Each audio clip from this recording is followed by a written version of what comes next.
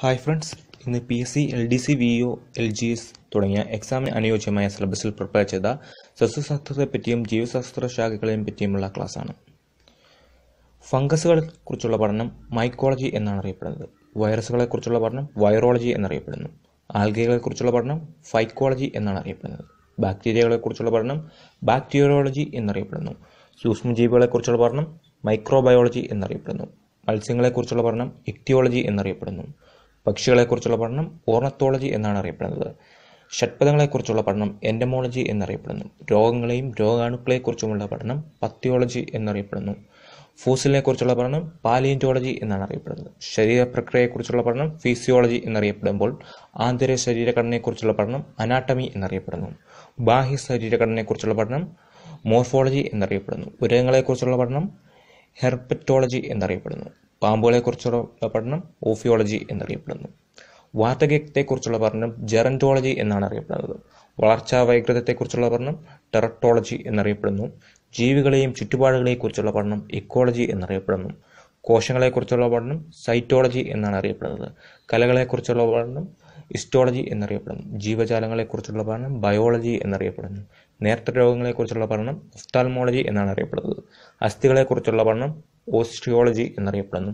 ജന്തുക്കളെക്കുറിച്ചുള്ള പഠനം സുവോളജി എന്നറിയപ്പെടുമ്പോൾ സസ്യങ്ങളെക്കുറിച്ചുള്ള പഠനം ബോട്ടണി എന്നറിയപ്പെടുന്നു. ശുദ്ധജലത്തെക്കുറിച്ചുള്ള പഠനം ലിഗ്നോളജി എന്നാണ് അറിയപ്പെടുന്നത്.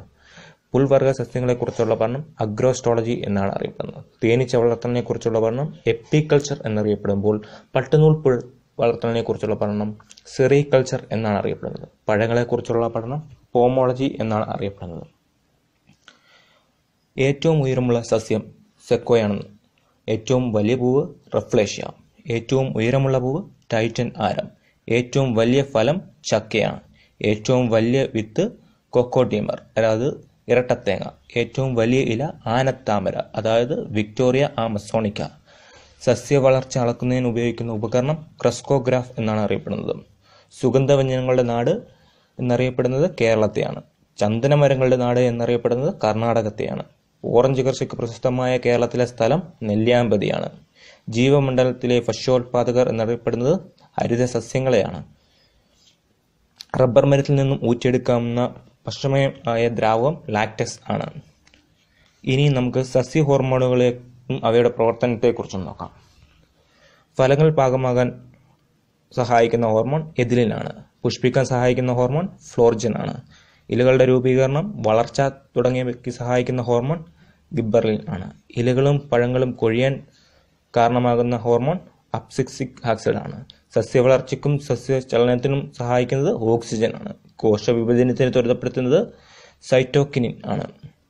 ഇനി നമുക്ക് സസ്യങ്ങളും അവരുടെ അപരനാമങ്ങളെക്കുറിച്ച് നോക്കാം. ഗ്രാമത്തിന്റെ ഔഷധശാല എന്നറിയപ്പെടുന്ന സസ്യം വേപ്പാണ്. ദേവദുന്ദുവി എന്നറിയപ്പെടുന്നത് തുളസിയാണ്.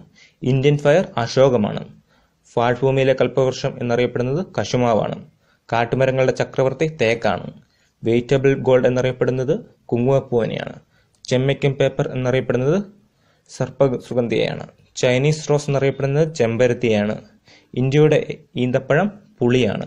യവനപ്രിയ എന്നറിയപ്പെടുന്നത് കുരുമുളകനെയാണ്. പാവങ്ങളുടെ ഓറഞ്ച് എന്നറിയപ്പെടുന്നത് തക്കാളിയെയാണ്. റബ്ബർ മരങ്ങളുടെ ഉൽപാദനം കൂട്ടാൻ ഉപയോഗിക്കുന്ന ഹോർമോൺ എതിലിനാണ് ക്രിക്കറ്റ് ബാറ്റ് നിർമ്മാണത്തിന് ഉപയോഗിക്കുന്ന മരം വില്ലോ ആണ്. കള്ളിമുൾ ചെടിയിൽ ആഹാരം പാചകം ചെയ്യുന്നത് കാണ്ടത്തിലാണ് ഒരു ഫംഗസും ആൽഗയും സഹജീവനത്തിൽ ഏർപ്പെട്ടുണ്ടാകുന്ന സസ്യവർഗം ലൈക്കനുകൾ ആണ്. അന്യവസ്തുക്കളുമായുള്ള സമ്പർക്കത്താൽ ഉത്തേജിതമായി ഒരു അവയവത്തിനുണ്ടാകുന്ന ചലനം ഹപ്റ്റോട്രോപ്പിസം ആണ്. രക്താർബുദ ചികിത്സയ്ക്ക് ഉപയോഗിക്കുന്ന വിൻകിൻസ്റ്റിൻ ലഭിക്കുന്നത് ശവനാറിയിലാണ് സസ്യങ്ങൾ ഉണക്കി സൂക്ഷിക്കുന്ന സമ്പ്രദായമാണ് ഹെർബേറിയം. സസ്യങ്ങളിൽ ഏറ്റവും കൂടുതൽ കാണപ്പെടുന്ന മൂലകം കാർബണാണ്. നെല്ലിന്റെ ശാസ്ത്രീയനാമം ഒറൈസ സറ്റൈവയാണ്. ഭക്ഷണമായി ഉപയോഗിക്കുന്ന ഉള്ളിയിലെ ഭാഗം കാണ്ഡമാണ്. രാത്രി ഇലകൾ പുറത്തുവിടുന്ന വാതകം കാർബൺ ഡൈ ഓക്സൈഡാണ്.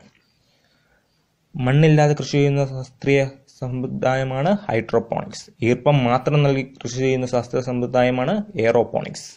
ഒരില മാത്രമുള്ള ചെടി ചേനയാണ്.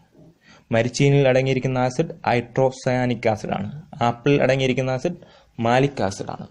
ഫംഗസുകൾ പ്രത്യുൽപാദനം നടത്തുന്നത് രേണുക്കൾ വഴിയാണ്. വൃക്ഷത്തിന്റെ പ്രായനിർണയത്തിന് സഹായിക്കുന്നത് വാർഷിക വളയങ്ങളാണ്. അത്യുൽപാദന ശേഷിയുള്ള ഒരു കുരുമുളക് വിത്താണ് പന്നിയൂർ വൺ. കാറ്റിലൂടെ വിത്ത് വിതരണം നടക്കുന്ന ഒരു സസ്യമാണ് എരിക്ക് ഒരു പൂവിലെ പുരുഷ ലൈംഗിക അവയവമാണ് കേസരം. ഒരു പൂവിലെ സ്ത്രീ ലൈംഗിക അവയവമാണ് ജനി. ഫലം ഉണ്ടാകുമെങ്കിലും വിത്തുകൾ ഉണ്ടാകാത്ത സസ്യമാണ് വാഴ. ഏറ്റവും വിഷകരമായ കുമ്പളാണ് അമാനിറ്റ. ഹരിത വിപ്ലവം ആദ്യം നടന്നത് മെക്സിക്കോയിലാണ്. ഹരിത വിപ്ലവത്തിന്റെ ഇന്ത്യൻ പിതാവാണ് എം എസ് സാമദാനൻ ഇന്ത്യയിലെ ഉൽപാദനം കൂടിയ വിളയാണ് ഗോതമ്പ്. ഹരിത വിപ്ലവ സമയത്തെ കേന്ദ്രമന്ത്രിയാണ് സി സുബ്രഹ്മണ്യം. റബ്ബർ കശുമാവിന്റെ ജന്മദേശം ബ്രസീലാണ്. തേയില കുരുമുളക് ഇഞ്ചി ഏലം മഞ്ഞൾ മാമ്പഴം ഇവയുടെ ജന്മദേശം ഇന്ത്യയാണ്. പുളിയുടെ ജന്മദേശം ആഫ്രിക്കയാണ്. ക്യാരറ്റിന്റെ ജന്മദേശം അഫ്ഗാനിസ്ഥാനാണ്. ഉരുളൻകിഴങ്ങിന്റെ ജന്മദേശം പെറു ആണ് ജനിതക മാറ്റത്തിലൂടെ വികസിപ്പിച്ച വൈറ്റമിൻ എയുടെ അളവ് കൂടിയ അരി ഉൽപ്പാദിപ്പിക്കുന്ന നെല്ലിനം സുവർണ നെല്ലാണ്. അരി ഏറ്റവും അധികം കയറ്റുമതി ചെയ്യുന്ന രാജ്യം തായ്ലാന്റാണ് ചോളത്തിൽ നിന്നും വേർതിരിച്ചെടുക്കുന്ന സസ്യ എണ്ണയാണ് മാർഗരിൻ. ബഹിരാകാശ പേടകത്തിൽ കരുതുന്ന സസ്യം ക്ലോറല്ല. തലച്ചോറിന്റെ ആകൃതിയിൽ ഇലകളുള്ളതും ഭ്രാന്തിനും അപസ്മാരത്തിനും ഉത്തമവുമായ ഔഷധ സസ്യമാണ് കുടങ്ങൽ. പൊയ്ക്കാൽ വേരുകൾക്ക് ഉദാഹരണമായ സസ്യങ്ങൾ കരിമ്പ് കൈത എന്നിവയാണ്. പാചകം ചെയ്യുമ്പോൾ ധരിക്കാൻ ഏറ്റവും അനുയോജ്യമായ വസ്ത്രം പരുത്തിയാണ്. വൃക്ഷത്തിന്റെ പ്രായനിർണയത്തിന് സഹായിക്കുന്നത് വാർഷിക വളയങ്ങളാണ്. പൂക്കൾ ഉണ്ടാകുന്ന ഏറ്റവും ചെറിയ സസ്യം ഡാക്വെറ്റ് അല്ലെങ്കിൽ വുൾഫിയ ആണ്. കോശത്തിന്റെ എനർജി കറൻസി എന്നറിയപ്പെടുന്നത് അഡ്നോസി ട്രൈഫോസ്ഫേറ്റ് ആണ്. റബ്ബറിനെ ബാധിക്കുന്ന ചീക്ക് രോഗത്തിന് കാരണം ഫംഗസ് ആണ്.